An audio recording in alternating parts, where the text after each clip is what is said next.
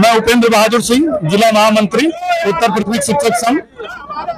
हम लोग संयुक्त मोर्चा के तहत जो है सभी लोग आज प्रदर्शन किए हैं और अपने श्रीमान जिला अधिकारी महोदय को ज्ञापन दिए, के थ्रू जो है माननीय मुख्यमंत्री जी को ज्ञापन दिए हैं। जिसमें हम लोगों ने मांग रखी है कि हम लोगों को थर्टी फ़र्स्ट थर्टी फ़र्स्ट जो है इकतीस ईएल दें, चौदह हाफ़ सीएल दें और मुफ़्त चिकित्सा दें।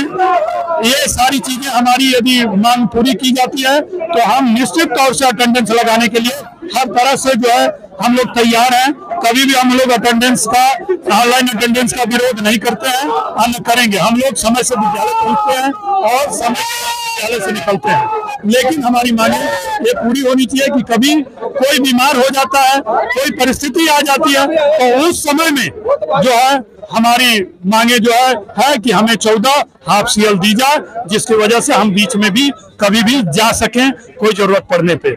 धन्यवाद।